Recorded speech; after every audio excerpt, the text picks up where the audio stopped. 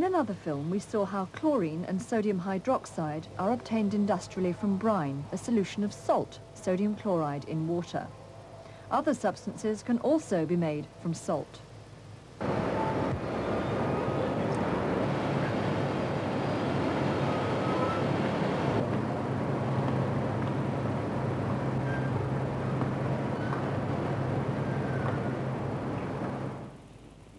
Ionic substances don't have to be dissolved in water before they can be electrolyzed. They also conduct electricity when they're melted. This is lead 2 bromide, which we're using because it has a quite low melting point. We'll try to electrolyze it using electrode assembly. The cathode's a piece of platinum wire. The anode's a carbon rod. It's dipped into the molten lead bromide.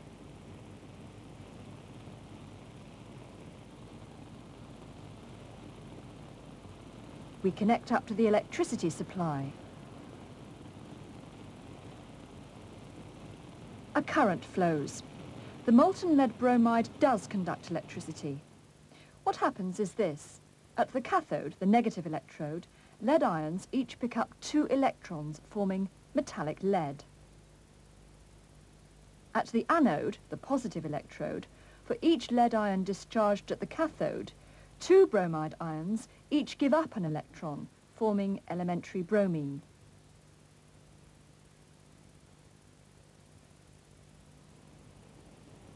As the electrolysis proceeds, we can see red bromine vapour coming off from the electrolyte.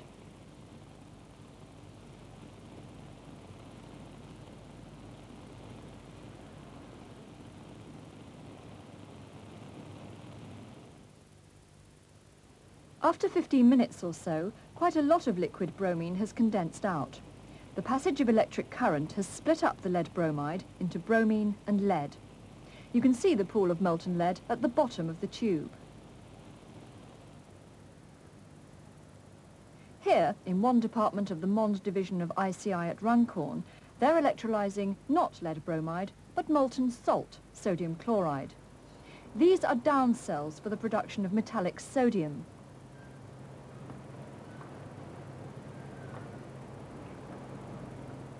This is how they work. There's a steel pot with a brick lining. This contains a melted mixture of salt and calcium chloride at about 600 degrees C. There's a graphite anode, actually a clump of four like this in each cell. The anodes are surrounded by a steel cathode. This is a cross-section. When the electrodes are connected to the power supply, chlorine gas is liberated around the anodes. This is what happens. Because the anode is positively charged, it attracts the negative chloride ions. Each chloride ion gives up an electron to the anode and chlorine gas is produced. The gas bubbles upwards and is collected in a trap called the bell, made of nickel, and is piped off and used. At the cathode, metallic sodium is liberated. The negative cathode attracts positive sodium ions. Each ion picks up an electron, giving sodium metal.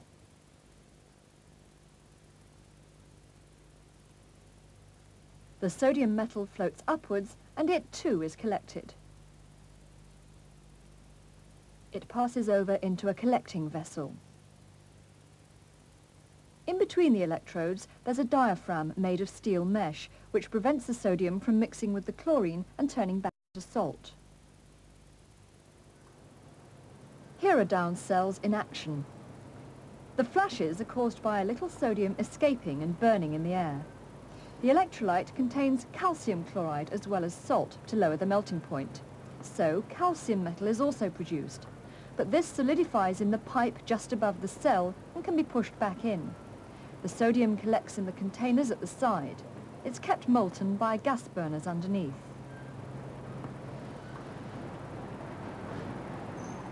Every two months or so, the diaphragm has to be changed in a cell. This is a very spectacular process.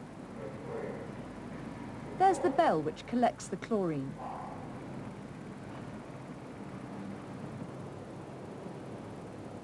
Here's the sodium container being removed.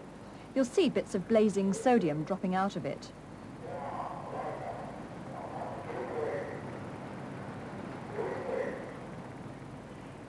Now out comes the old diaphragm.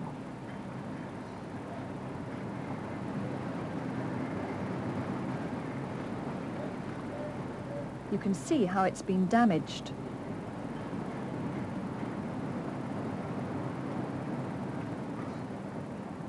The current is still on and the electrolysis is still proceeding in the cell. Here comes a new diaphragm. You can see that there are four cylinders of mesh to fit over the clump of four anodes in the cell.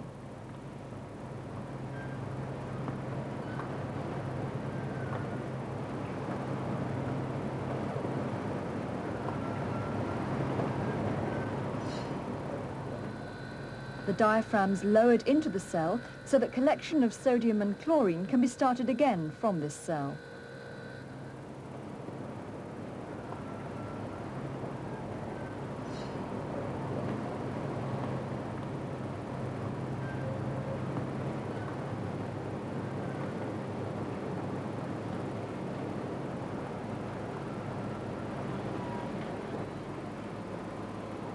Components removed from a cell are baked to burn off any sodium remaining in them, then sprayed with water, taking full precautions just to make sure. Sodium reacts violently with water, of course. They threw a lump in just to remind us.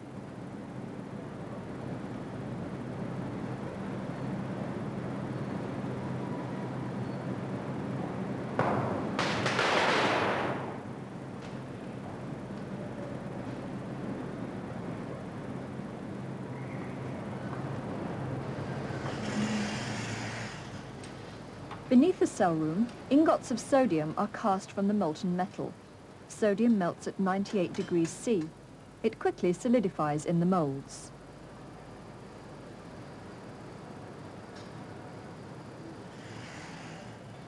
Each ingot weighs 9 kilograms.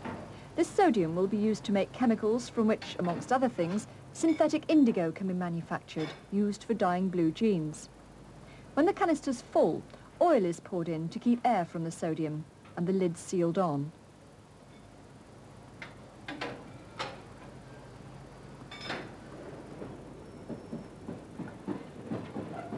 Sodium metal can be transported in other ways. This rail tanker is filled with sodium. It's going to a plant where the important metal titanium is manufactured.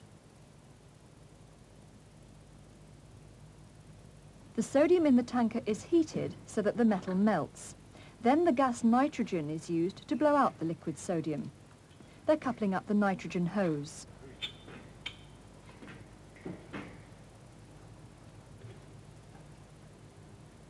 The nitrogen forces the sodium along pipes to big storage vessels where it's kept liquid until it's used. Each of these containers holds hundreds of kilograms of molten sodium. It'll be used to make titanium.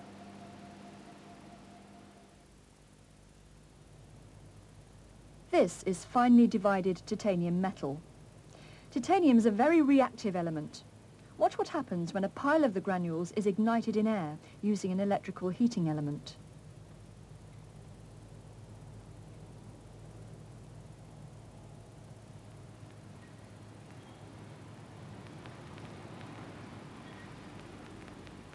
It burns very fiercely indeed.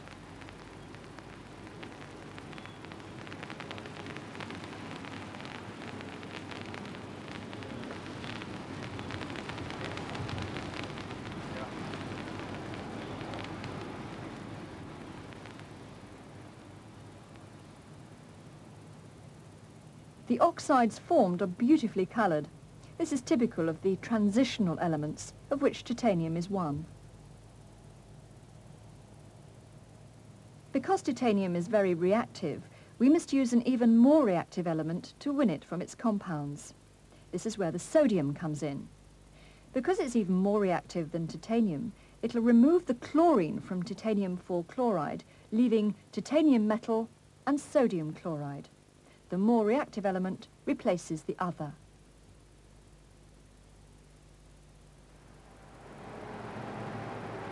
Here's one of the steel vessels in which that reaction is carried out. It's lowered into a brick-lined oven, which can be heated up to a high temperature by gas burners.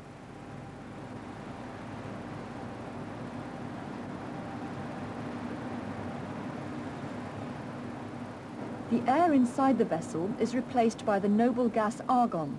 Then the liquid sodium is run in. The little gas jets keep the sodium molten.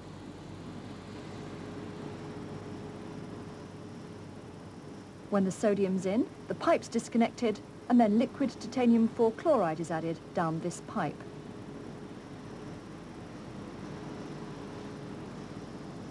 Now the reaction vessel's heated for 36 hours.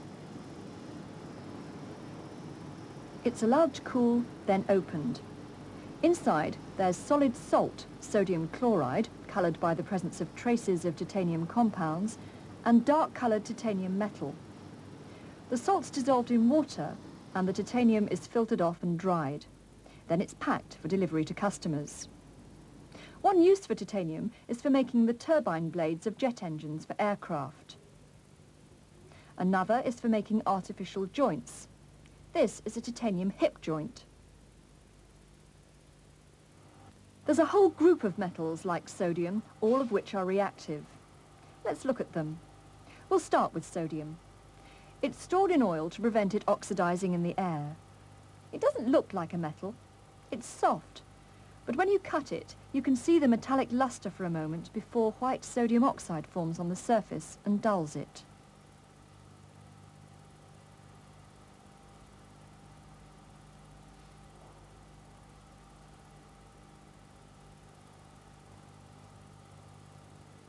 Lithium has a lower atomic mass than sodium. It's not quite so reactive.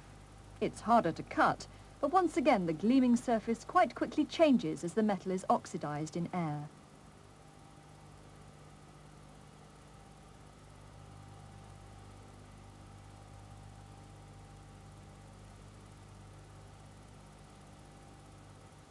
Potassium has a higher atomic mass number than sodium, and it's even more reactive. Again, it's stored in oil. Watch.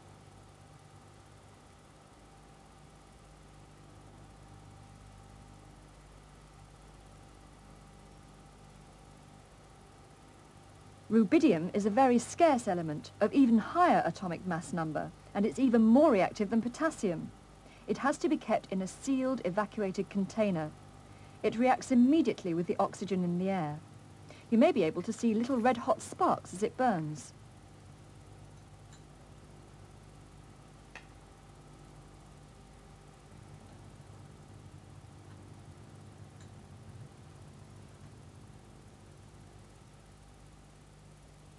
Cesium is even scarcer with a still higher atomic mass number, and it's the most reactive of all metals. It melts at body temperature, as you can see. The warmth of your hands will melt it, it oxidizes as soon as it gets in contact with air and stays molten with the heat of the reaction.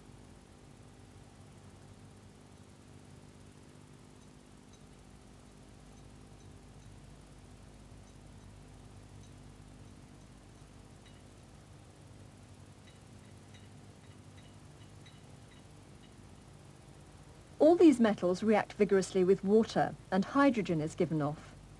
This is lithium again, the least reactive. It never gets hot enough to ignite or explode.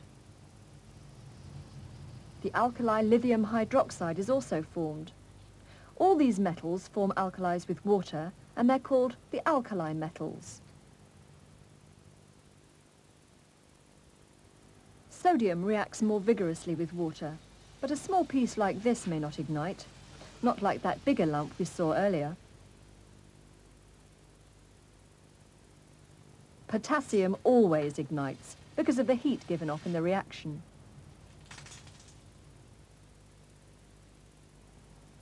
We can only use a tiny portion of rubidium, it's so expensive, but you can see how vigorously it reacts. And cesium's the most reactive of the lot, remember.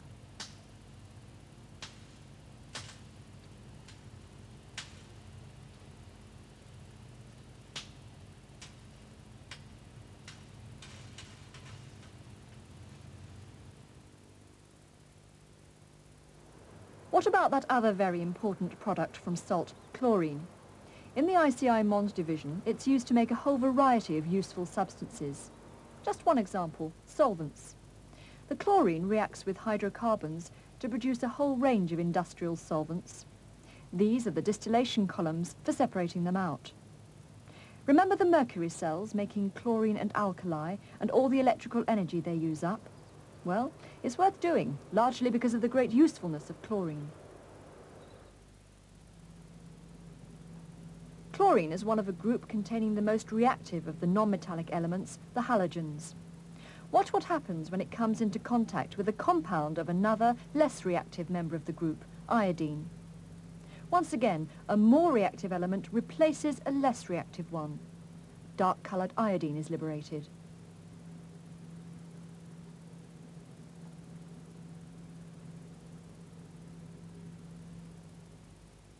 Here's the equation for the reaction.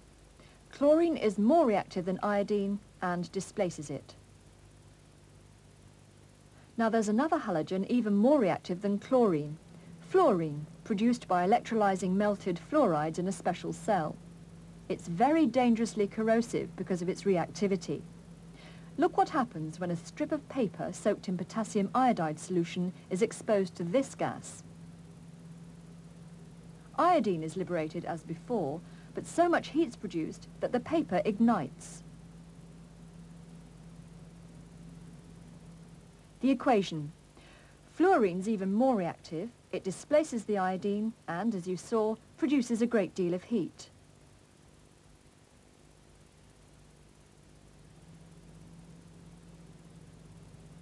This is a hydrocarbon called toluene. It's inflammable. Let's see what happens if we pass chlorine gas over it.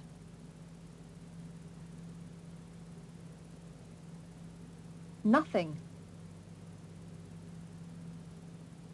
But with fluorine,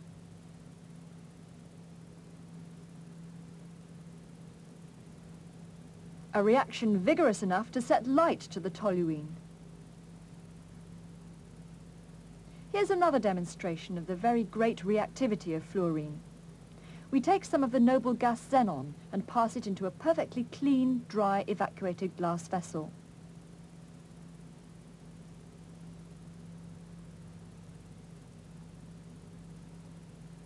We fill an upper part of the apparatus with fluorine.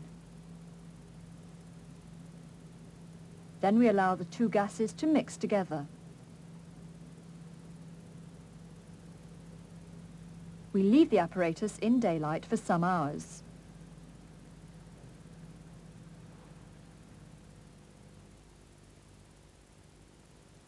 After several hours, there are crystals inside. Fluorine is so very reactive that it has even formed a compound with a noble gas, xenon fluoride.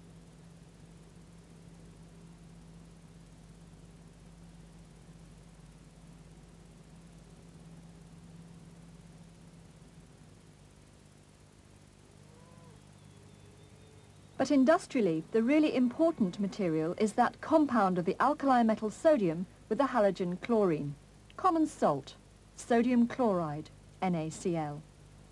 One important source of salt is the Great Cheshire Salt Field in northwest England. In these two films, we've seen just some of the uses to which it's put in the chemical industry today,